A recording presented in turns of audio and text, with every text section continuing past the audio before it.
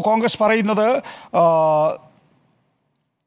അന്വേഷണം തന്നിലേക്ക് വരും എന്ന് ഭയന്നാണ് കെ കെ ലതിക പോസ്റ്റ് മുക്കിയത് എന്നാണ്. കെ കെ ലതികയെ അറസ്റ്റ് ചെയ്യണം. ചോദ്യം ഒന്നുകൂടി ചോദ്യം ചെയ്താൽ കെ കെ ലതിക പറയും ആരാണ് ഈ വ്യാജ സ്ക്രീൻഷോട്ട് ഉണ്ടാക്കിയത് എന്ന്.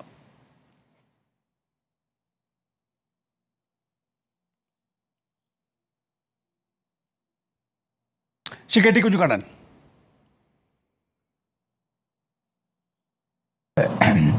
ഈ വ്യാജ screen shot K K Lathika ഉണ്ടാക്കിയല്ല എന്ന് ഈ പറയുന്ന പ്രവീൺ കുമാർ ഉൾപ്പെടെയുള്ള എല്ലാ ആളുകൾക്കും അറിയാം.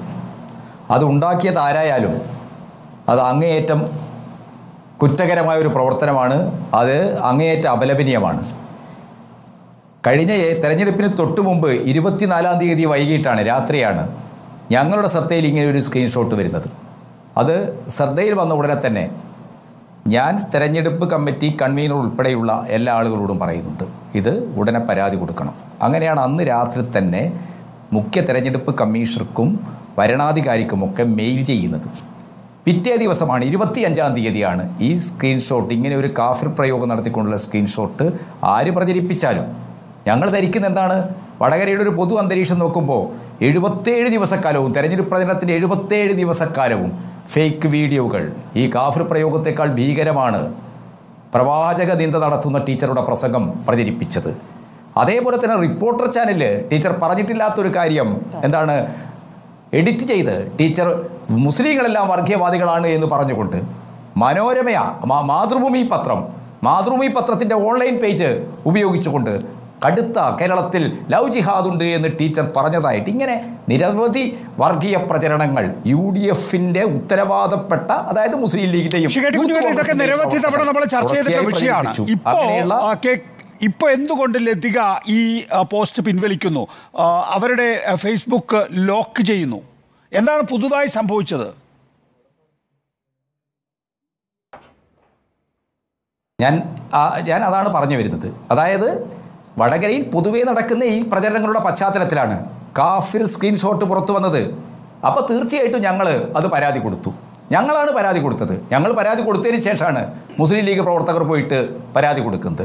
ഞങ്ങൾ പരാതി കൊടുത്തു അവരും പരാതി കൊടുത്ത്. ആരായാലും ഇത് ഇതിനെ എന്താണ് ഏത് പക്ഷത്തുള്ള ആളായാലും ഇങ്ങനെ ഒരു പോസ്റ്റർ ഉണ്ടാക്കി പ്രചരിപ്പിക്കുന്നത് അങ്ങേയറ്റം കുറ്റകരമാണ്. അത് സമൂഹത്തിൽ വിഭജനവും വിദ്വേഷവും ഉണ്ടാക്കുന്നതാണ്. ആരായാലും നമ്മൾ ഈ ഘട്ടത്തിൽ ചർച്ച ചെയ്യേണ്ട കാര്യമേല കാര്യമേ അല്ല. നിരവധി തവണ ഇതൊരു വലിയ വിഷയമായി ഉയർന്നു വന്ന അന്ന് മുതൽ ചർച്ച ചെയ്തിട്ടുള്ള കാര്യമാണ്. ഇപ്പോൾ പോസ്റ്റ് ഇട്ടയാൾ എന്ന് സി പി എം ആരോപിച്ച എം എസ് എഫ് ജില്ലാ secretary P K Muhammad Kasim പ്രഥമ ദൃഷ്ട്യാ ഇതിൽ പങ്കാളിത്തമില്ലാത്ത പങ്കാളിത്തമില്ലാത്ത ആളാണ് എന്ന് പോലീസ് ഹൈക്കോടതിയിൽ റിപ്പോർട്ട് നൽകുകയാണ്.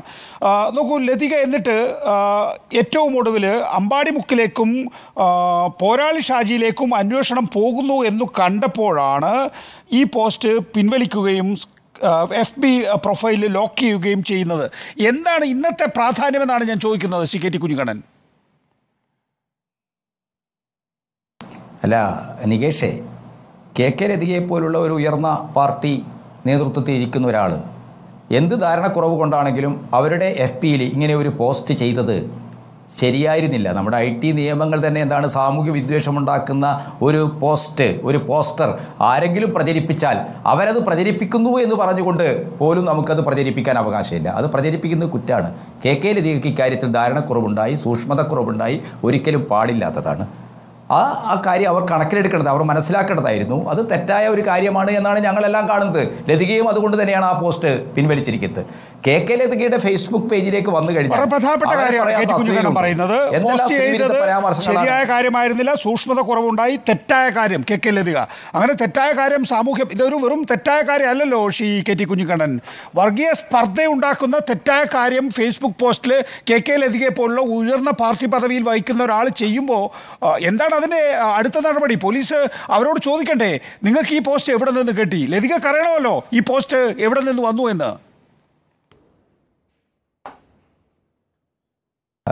നികേഷേ പോലീസ് കാര്യം അന്വേഷിക്കുന്നില്ല എന്ന് നിങ്ങൾക്ക് നികേഷൻ അറിയാവോ? പോലീസ് അന്വേഷിക്കുന്നുണ്ട്. പോലീസ് ഒരു തവണ ചോദ്യം ചെയ്തു. പോകട്ടെ. ഒരു തവണ മൊഴി മൊഴിയെടുത്തു ശരി സമ്മതിച്ചു. പക്ഷെ അവിടെ അല്ല തീരുന്നില്ലല്ലോ ആ, ലേ-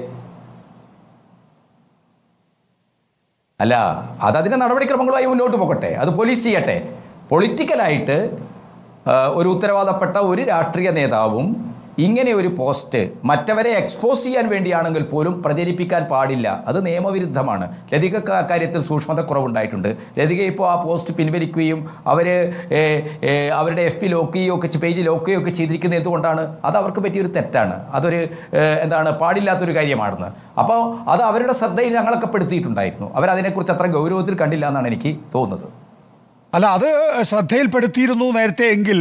എന്തുകൊണ്ട് ആ ഘട്ടത്തിൽ പോലും അവർക്ക് ആ പോസ്റ്റ് പിൻവലിക്കണമെന്ന് തോന്നിയില്ല? ഇലക്ഷന്റെ തലേ ദിവസം എന്ന് വെച്ചാൽ തെരഞ്ഞെടുപ്പ് ദിവസം ഇതൊരു അജണ്ടയാക്കണം എന്ന് നിശ്ചയിച്ചുകൊണ്ടാണ് അല്ലെങ്കിൽ മതധ്രുവീകരണം മത ധ്രുവീകരണം ഉണ്ടാക്കണം എന്ന് കരുതിക്കൊണ്ടാണ് കെ കെ ലതിക ആ പോസ്റ്റ് പ്രസിദ്ധീകരിച്ചിട്ടുള്ളത്. അത് പോസ്റ്റ് ചെയ്തിട്ടുള്ളത്. എന്നിട്ട് അവർക്ക് നിങ്ങളൊക്കെ പറഞ്ഞിട്ടും ഇക്കാര്യത്തിൽ ഒരു തെറ്റായ നിലപാടാണ് എടുത്തതെന്ന് പറഞ്ഞിട്ട് പോലും ഒടുവിൽ ഇത് പോരാളി ഷാജിയിലേക്കും അമ്പാടിമുക്ക് സഖാക്കളിലേക്കും എത്തുന്ന ഘട്ടത്തിലാണ് പിൻവലിക്കുകയും സ്ക്രീൻ ലോക്ക് ചെയ്യുകയും ചെയ്തിരിക്കുന്നത്. അതിൽ പ്രാധാന്യമുണ്ടോ സി കെ ടി കുഞ്ഞിക്കണ്ണൻ? അതായത് ഇതാ അമ്പാടിമുക്കിലേക്ക് എത്തി പോരാളി ഷാജിയിലേക്ക് എത്തി ഇനി എന്നിലേക്ക് തന്നെയാണോ വരുന്നത്? അല്ല ലതികയെ പോലുള്ള ഒരാൾ വടകരയിലെ പൊതുവായ യു ഡി എഫിന്റെ ഒരു പ്രചരണ ക്യാമ്പയിന്റെ ഒരു പാറ്റേൺ നോക്കിക്കഴിഞ്ഞാൽ യു ഡി എഫുകാർ ഇത് ചെയ്യും? ടീച്ചർ പ്രവാചക നിന്ദ നടത്തിയെന്ന് ടീച്ചറുടെ പ്രസംഗം തെറ്റായി എഡിറ്റ് ചെയ്ത് കട്ട് ചെയ്ത് പ്രചരിപ്പിച്ചവരാണ്. അങ്ങനെയുള്ള ആളുകൾ ഇത് ചെയ്യും. അതുകൊണ്ട് ഇവരെ എക്സ്പോസ് ചെയ്യണം എന്നുള്ളതാണ്. അതുപോലെ നിയമവിരുദ്ധമാണ് എന്ന കാര്യം മനസ്സിലാക്കുന്ന കാര്യത്തിൽ അവർക്ക് ജാഗ്രത കുറവുണ്ടായി ജാഗ്രതക്കുറവുണ്ടായി സൂക്ഷ്മതക്കുറവുണ്ടായി. അവരത് ചെയ്യാൻ പാടില്ലായിരുന്നു. കാരണം ഐ ടി നിയമങ്ങളൊക്കെ നമുക്കറിയാമല്ലോ. സാമൂഹ്യ വിദ്വേഷം ഉണ്ടാക്കുന്ന ഒരു ഇത് നമ്മുടെ ശ്രദ്ധയിൽപ്പെട്ടാൽ നമുക്ക് റിപ്പോർട്ട് ചെയ്യാൻ പരാതി കൊടുക്കാം. അതല്ലാതെ അത് നമ്മൾ എന്താണ് അതിനെ എക്സ്പോസ് ചെയ്യാൻ വേണ്ടി അതിനെതിരായിട്ട് ആളുകളെ ചിന്തിപ്പിക്കാൻ വേണ്ടി നമ്മളത് പ്രചരിപ്പിക്കുന്ന ഒരു പ്രവർത്തനം നടത്താൻ പാടില്ല. അത് വാട്സപ്പിലൂടെയും പാടില്ല ഫേസ്ബുക്കിലൂടെയും പാടില്ല. ആ കാര്യത്തിൽ ലതികക്ക് സൂക്ഷ്മത കുറവുണ്ടായി അത് വർഗീയ ധ്രുവീകരണം ഉണ്ടാക്കുക എന്നുള്ളതായിരുന്നില്ല. യു ഡി എഫിന്റെ ഒരു രാഷ്ട്രീയ വൃത്തികേടിനെ ഒരു രാഷ്ട്രീയ നീചത്വത്തെ എക്സ്പോസ് ചെയ്യുക എന്നുള്ള ഉദ്ദേശത്തിൽ